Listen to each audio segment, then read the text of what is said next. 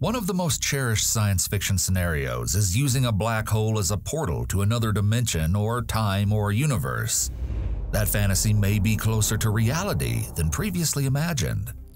Black holes are perhaps the most mysterious objects in the universe. They're the consequence of gravity crushing a dying star without limit, leading to the formation of a true singularity, which happens when an entire star gets compressed down to a single point yielding an object with infinite density.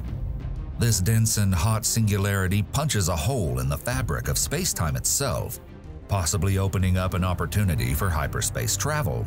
That is, a shortcut through spacetime allowing for travel over cosmic scale distances in a short period. Researchers previously thought that any spacecraft attempting to use a black hole as a portal of this type would have to reckon with nature at its worst the hot and dense singularity would cause the spacecraft to endure a sequence of increasingly uncomfortable tidal stretching and squeezing before being completely vaporized. Professor Gaurav Khanna is the author of the study which we turned into this video. His team at the University of Massachusetts Dartmouth and his colleague at Georgia Gwinnett College have shown that all black holes are not created equal.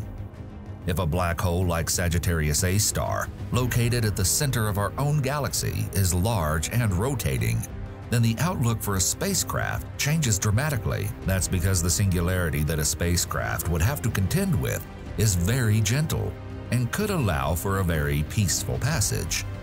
The reason that this is possible is that the relevant singularity inside a rotating black hole is technically weak and thus does not damage objects that interact with it. At first, this may seem counterintuitive, but one can think of it as analogous to the common experience of quickly passing one's finger through a candle's near 2000 degree flame without getting burned. Professor Khanna and his colleague Lior Burko have been investigating the physics of black holes for over two decades. In 2016, Dr. Khanna's PhD student Carolyn Mallary, inspired by Christopher Nolan's blockbuster film Interstellar, set out to test if Cooper, Matthew McConaughey's character, could survive his fall deep into Gargantua, a fictional supermassive rapidly rotating black hole some 100 million times the mass of our Sun. Interstellar was based on a book written by Nobel Prize winning astrophysicist Kip Thorne, and Gargantua's physical properties are central to the plot of this Hollywood movie. Building on work done by physicist Amos Ori two decades prior, and armed with her strong computational skills, Mallary built a computer model that would capture most of the essential physical effects on a spacecraft, or any large object, falling into a large rotating black hole like Sagittarius A star.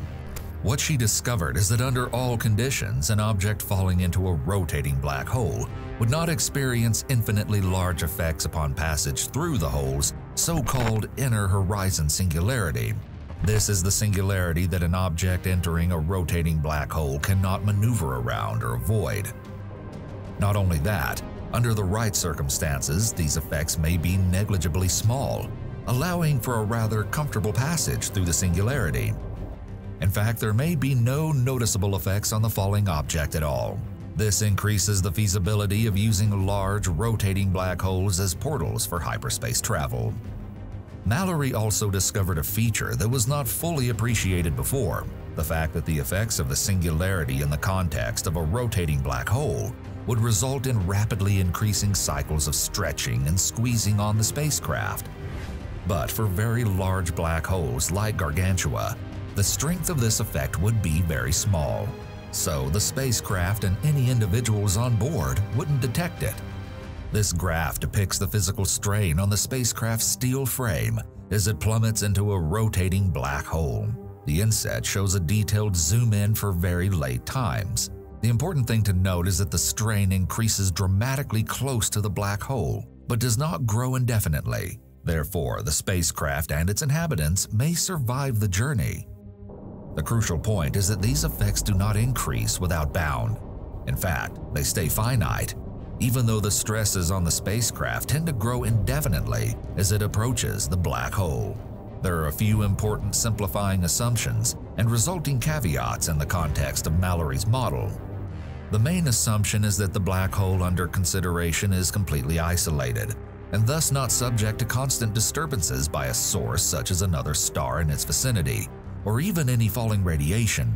While this assumption allows important simplifications, it's worth noting that most black holes are surrounded by cosmic material, dust, gas, and radiation. Therefore, a natural extension of Mallary's work would be to perform a similar study in the context of a more realistic astrophysical black hole. Mallary's approach of using a computer simulation to examine the effects of a black hole on an object is very common in the field of black hole physics. Needless to say, we don't have the capability of performing real experiments in or near black holes yet, so scientists resort to theory and simulations to develop an understanding by making predictions and new discoveries. If you like this video, please consider subscribing and click the notification bell so you do not miss any upcoming videos.